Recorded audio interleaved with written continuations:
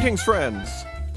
Welcome to CTUCC Conference Cast for December 19th, 2013, the regular podcast of the Connecticut Conference of the United Church of Christ. Whoever you are, and wherever you may be on life's journey at this very moment, you are welcome here.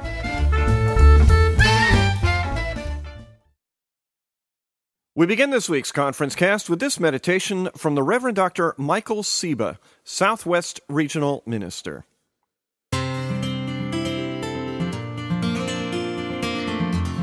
In his Gospel, Matthew tells the story of Jesus' birth by focusing on Mary and Joseph. When Mary learns that she is expecting a child who is not his, Joseph resolves to end their engagement, but quietly. It takes a dream of an angel to persuade him to stand with her and be parent to the boy called Emmanuel, or God with us. Luke owns Christmas. Go to any Christmas pageant, listen to any carol, watch any movie about Jesus' birth.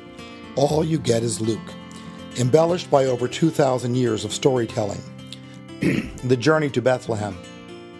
No room at the inn, sheltering in the stable with farm animals, the baby in a manger, shepherds in the fields, the heavenly host singing glory. Of course, Matthew owns Epiphany, but that's a different feast. In contrast, Matthew's birth narrative is sparse. You couldn't make a Christmas pageant out of it if you tried. But there is one absolutely beautiful artistic rendering of Matthew's story of Jesus' birth. It's in the film The Gospel According to St. Matthew, produced by Pier Paolo Pasolini in 1964. I invite you to watch the whole film online on YouTube, or to watch from minute 3 to 6 minutes and 45 seconds to see how Pasolini dramatizes the story. At the beginning of the scene, Mary stands outside her house. As the camera pans her body, we see that she is obviously pregnant. As she stares at Joseph, her face reveals uncertainty and a bit of fear, but also displays a conviction that she has not done anything wrong. Joseph appears to be holding in his anger at this discovery. His lips look like they are about to move, but he cannot form the words. Eventually, he turns and walks away. As he leaves, some other women join Mary in the background, as if in solidarity with her. Throughout the scene, no words are spoken between Mary and Joseph. Joseph walks to the town square. As adults do business and children play, he lies down and falls asleep. The angel who appears to Joseph is portrayed by a woman. Nice touch. Her message is both an explanation and a command. I sense she would not respond favorably to any objections Joseph might raise. Joseph knows what he must do. He hurries back to Mary's house. She is still waiting outside. The camera focuses on Mary's face as she realizes that Joseph will fulfill his commitment to the marriage. We see her begin to smile. It will all be okay. Matthew describes Joseph as a righteous man. For Joseph, this meant following the commandments of God as he understood them. But Mary's experience and the witness of the angel offer him a different perspective. God is able to do things outside the limits of the laws that God has created. When this happens, we need to be open to possibilities that may challenge our settled opinions about what is right and what is wrong. The angel tells Joseph that the mission of Jesus is to save his people from their sins. One of the ways we are saved from the consequences of sin is through reconciliation with God and with one another. Matthew's birth narrative is a story of reconciliation. Joseph is reconciled with Mary and with God when he accepts that God is capable of righteousness beyond the conventional notions of right and wrong. The first act of salvation achieved through Jesus, even before his birth, is the reconciliation of his parents. This reconciliation makes it possible for them to complete the marriage commitment they made to each other. The presence of Emmanuel, God with us, enables us to restore, renew, refresh, and maintain relationships that are strained. Do we need to ask or offer forgiveness? Do we need to be reconciled with anyone? Do we need to look beyond rules that only serve to exclude? Do we need to be more open to a God who is free to act in ways that seem to defy conventional wisdom? As the angel told Joseph, let's not be afraid to do what God calls us to do.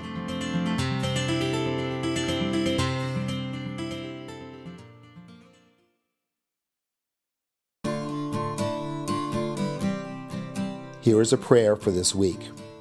Reconciling God, however much we try to put you in a box, you will not stay there. Help us, as the body of Christ, truly be a healing presence in and for the world. In Jesus' name, Amen.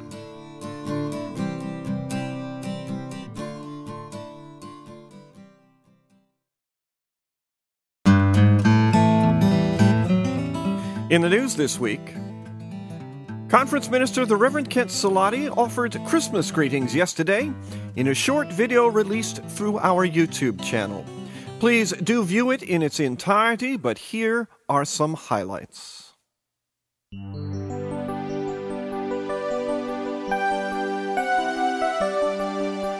the little babe in the manger who's crying, no crying, he makes. Um, I'm not sure that's the Jesus that I'm preparing for. You think Jesus may have alerted his parents that he was hungry with a cry? I also think that Jesus grows up and um, becomes someone who doesn't fulfill the expectations of Messiah the way that, that, that the culture did. He wasn't a military leader. He didn't lead by conquest. He was born to unmarried parents who were dirt poor. And he came to literally turn the world upside down. I also love um, music, um, and so the traditions of playing. I, I, my Christmas or my Advent preparations will not be complete unless I've listened to Handel's Soulful Messiah, which was produced about 20 years or so ago, which is a very different rendering than the classic traditional um, Messiah. And I, I have to listen to that several times before I feel ready for Christmas.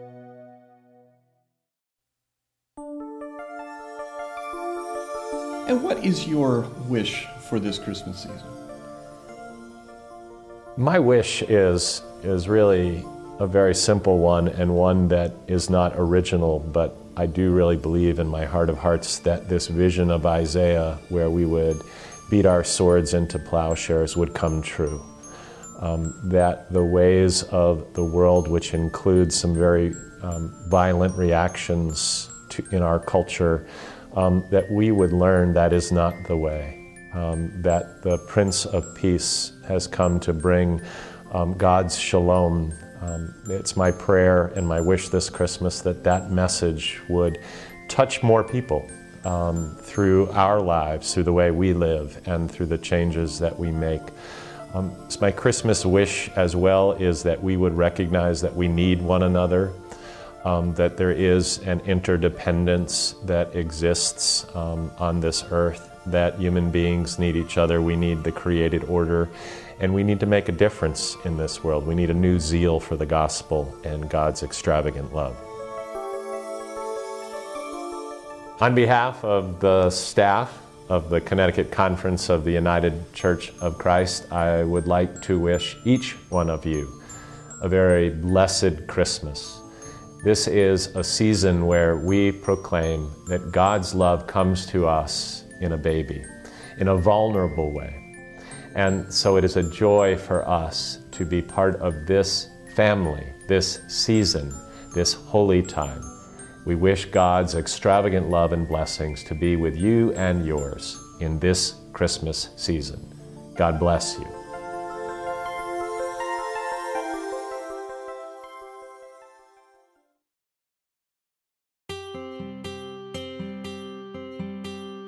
Last Saturday morning at 9 o'clock, falling snow outside the windows did not keep many members and friends of the Newtown Congregational Church UCC away as they gathered for a special service of remembrance one year after violence took the lives of a gunman, his mother, six educators at Sandy Hook Elementary School, and 20 children.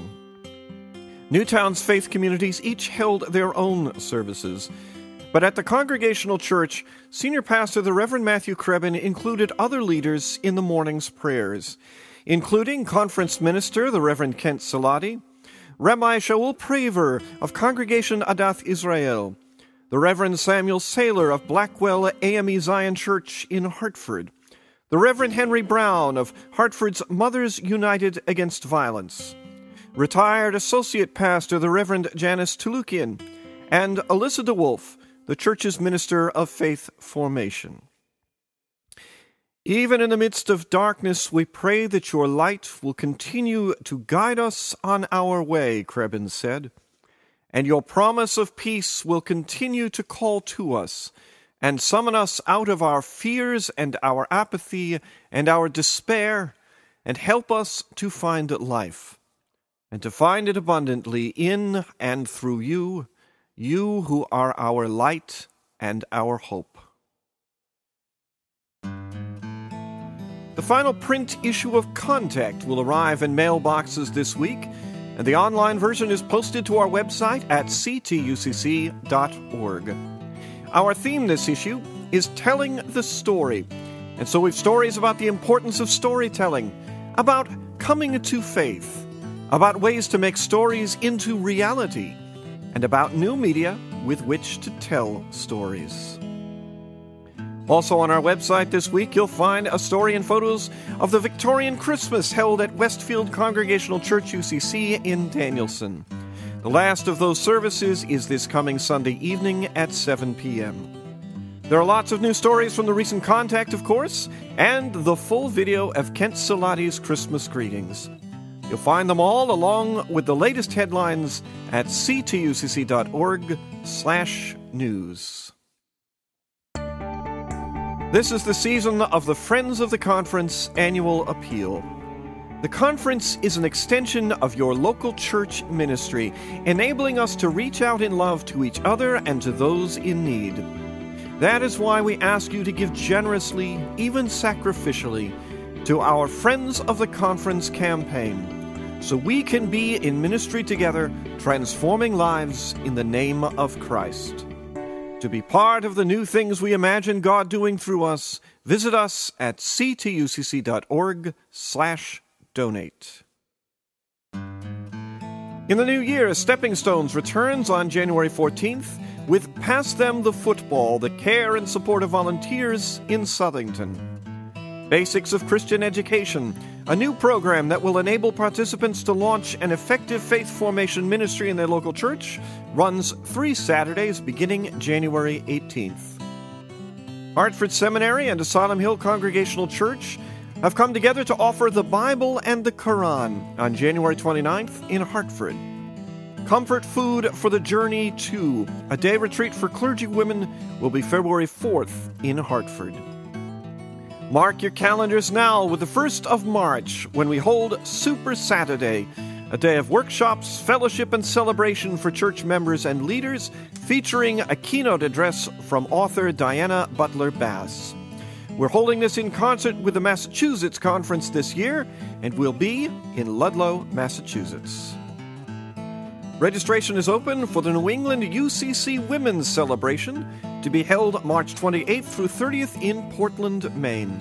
There's a discount available for those who register before January 15th, so get that done right now.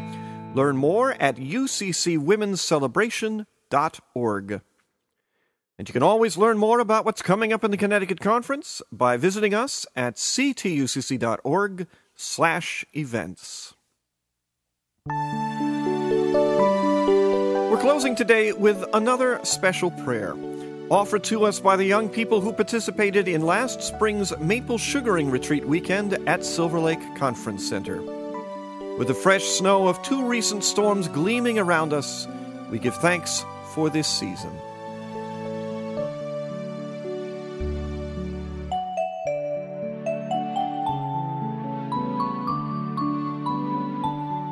God, your presence engulfs me. I hear you in the stream babbling beside me.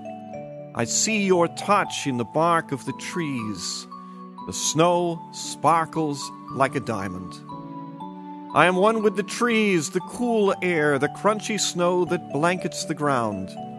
I see my reflection in the river, and I see you standing next to me. Everything was created and is living because of you.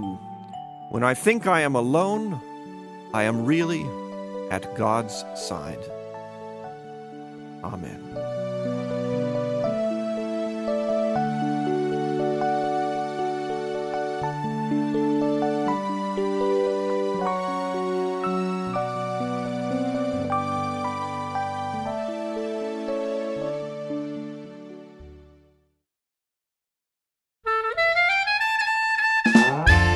And that brings this conference cast to a close.